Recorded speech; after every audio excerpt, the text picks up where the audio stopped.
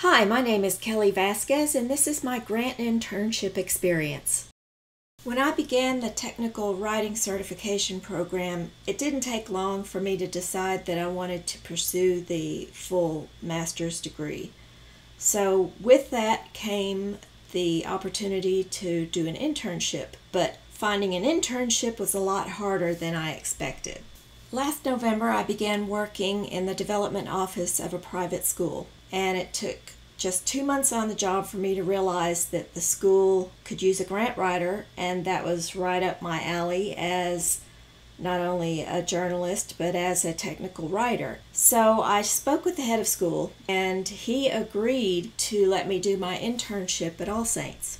The first couple of months of the internship really involved a lot of cataloging and finding details of the school's profile and their successes and getting it written down and broken up into chunks, something that they didn't initially have. I was glad I had six months to do this internship because there is a lot of information to catalog. It's an ongoing process and will continue, I'm sure, long after the internship is over with, as I plan to pursue a grant writing position with the school when I am finished. I also began working on a transportation grant in conjunction with one of my mentors who really helped me through this whole process, gathering information and getting all of it pared down into something workable for a grant. After school starts in August, I'll have my hands full fielding requests from teachers and other faculty to create grants or pursue grant opportunities. In the meantime, my mentor and I are also discussing a shade structure grant.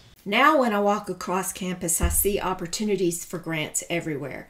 We have a learning farm, we're getting bees. Conservation grants are very big right now, so I see a lot of opportunity there. We also have a debate program that's very successful, and we have a really great STEM programs, so there are a lot of opportunities there. My internship job title is Grant Program Specialist. And when the head of school set this internship up for me, his whole vision was eventually for me to create a grant program, something the school didn't have. Up to this point, the school has relied on hiring freelance grant writers to help them with any grants that they've had written. So, having an in house grant writer is a great tool for them. My internship job description includes several tasks. First and foremost is to find funding sources. And that can be kind of tricky when you work for a private Christian school. It's been difficult, but when I do find a potential source, I make a note of it to pursue later down the road. Another task is to research grant opportunities. This is very time consuming, and you really have to have your grant idea narrowed down because if it's too broad, there are so many grants out there. If you can't narrow it down, you're going to have a more difficult time finding an opportunity. A third task is to create grant proposals. I've done my first one, which is an emissions improvement on our diesel shuttle buses on some of the older ones, and that grant will be submitted next month in September. I also have a shade structure grant in the works with my mentor, who's been a great help on these, as he just knows his way around them, and it's, it's so helpful. The very first thing I tackled in this internship was to maintain a grant tracking system. There were so much information and it was in so many different places. It did not exist in one spot. So it is part of my duties as an intern to find this information, break it up into pieces, and store it so we can pull it out and add them to grants as we need them. I was also asked to develop grant policies and procedures. That is just getting going since school is back in session and the faculty has found out that there is a grant writer on staff. So now I need to determine how they, they submit their information and how this is going to work.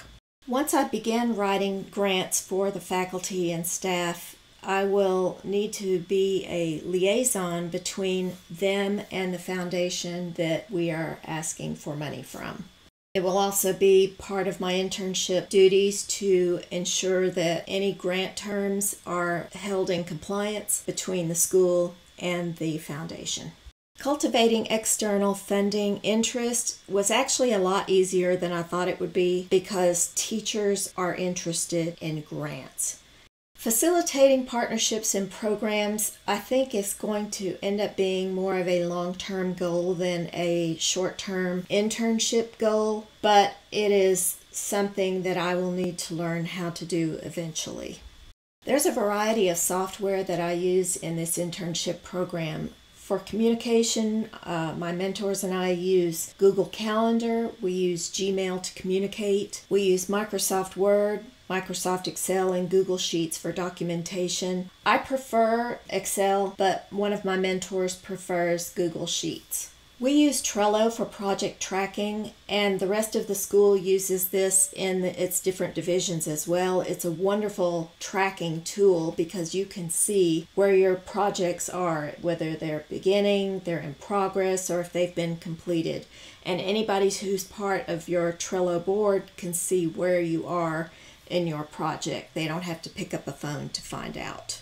Since I don't have any database tracking programs for grant software, I've been looking into a couple of different types, mainly Blackbaud's GrantMaker, but we found out that's extremely expensive and we already own several of their modules. It's just $200 a month per person seemed a bit high. My next option is Fluxx Grantseeker. Right now, I have done the trial version. I'm very pleased with it. I would ideally like the premium program, which also allows you to not only store your grant information on any grant you've got going, but it also allows you to search for grants that are out there.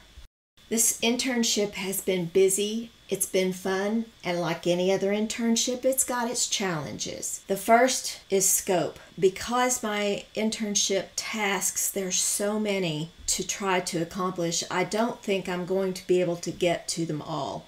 I've already gotten to a good portion of them, but I may not be able to get to all of them in the allotted time that I have trying to keep up with the sheer amount of data that I've been finding and trying to sort out is a huge challenge.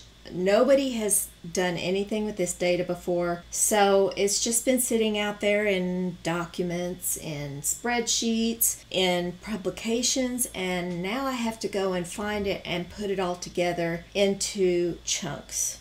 At least once I do this, the information will be there and I we can just add to it as the school year goes on. Not having a database to put all of this information into has been extremely difficult. Uh, Excel was never meant to be a database, but it's what I've got. We use Google Drive to store other documents, but I would like to get this stuff put in a database. So I am researching the different types of software that we can purchase to be able to do this the learning curve in an academic environment.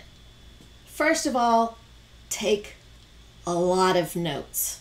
If you want to keep yourself sane, keep your data organized. Know where it is, have folders, subfolders. If you don't have a database like I do at the moment, find a way to keep it organized. Asking questions does not come easy for me. I'm a do it yourselfer. But Dr. Campbell has stressed the importance of asking questions, and she is so right. Don't be afraid to do it. It doesn't make you look weak, and you can get so much more done quickly if you ask a question or three or four.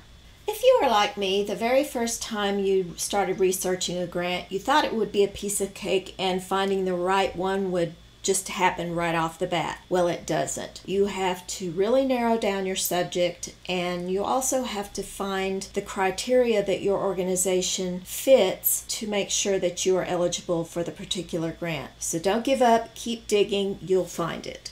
When you submit a grant, you are also submitting your state of financial need, which often means you have to supply numbers from previous years' budget, things of that sort. The business office or accounting office is going to have those numbers. Get on their good side. Bring them coffee, maybe even a donut, because you're going to need information from them often. In grant writing, there is much more material to collect for a grant than you ever realized. Details, and lots of them. It's like the tip of an iceberg or a giant thousand piece puzzle. You have got to find all of the pieces and put them together. My tip of the day drink coffee. If you don't drink coffee, start. It keeps you warm, it keeps you awake, and it keeps you going. The school profile has been my biggest project so far. It's an ongoing project. I've done it in Excel because I do not have database software, but at least in Excel, I broke it down into something like chapters and color coded it. And I go and add to this as I find extra information or if I need to pull information out, it's easily found here. School Successes is another document I've been working on also in Excel where it breaks down the student achievements by school, upper school, middle school, and lower school and then further breaks it down into academics, athletics, fine arts, and spiritual elements. There's a lot going on at our school, and our students are successful, and the school successes allows me to pull these certain areas out depending on what type of grant I'm writing, and so I can incorporate it into the grant and add a personal touch about what our students and classes are doing. The Emissions Improvement Grant is the first grant I've written for All Saints School. I worked with one of my mentors to get our older shuttle buses retrofit with better emission systems to modernize them and reduce hydrocarbons, carbon monoxide, basically to clean them up and keep them on the road for a little bit longer until we can replace them. The Shade Structure Grant will be my next grant for the school, and we have a giant shade structure over our main playground right now, but because of the bad weather we've had in the last two years, it's in need of repair. I don't think it exactly needs replacement, but it needs repair. But we also have several other places on campus that would benefit from either large shade structures or the smaller sails, especially the tennis courts and areas of the learning farm. I've been really happy with this grant experience and I'm glad I did it. I never thought my internship would be over grants, but I'm thinking this is the direction I would like my career to go. If I don't work for the school, I would like to eventually freelance, especially if my husband is transferred. This is a portable skill that I can take with me wherever I go. Thank you for watching.